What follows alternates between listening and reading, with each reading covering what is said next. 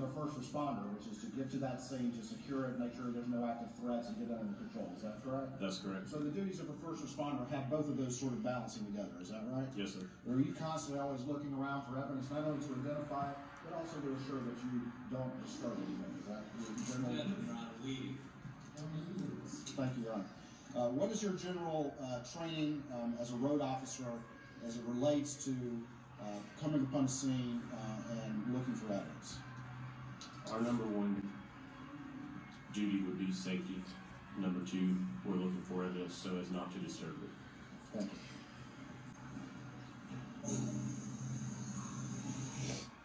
Right there to the right, what is that?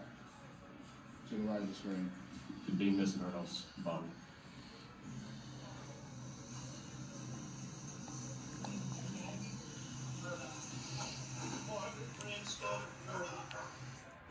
Who are those individuals right there? Sergeant Green and Mr. Myrtle.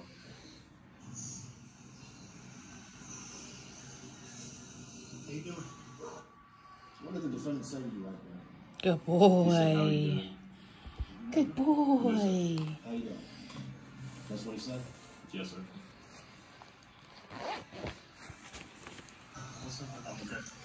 Um, nine fifteen sixty eight. Paul. Paul.